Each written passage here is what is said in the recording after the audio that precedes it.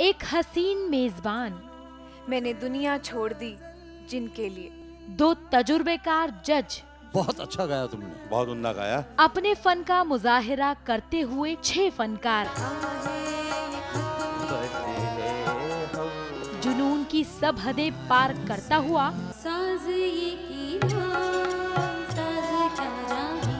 एक मुकाबला जुनून गज़ल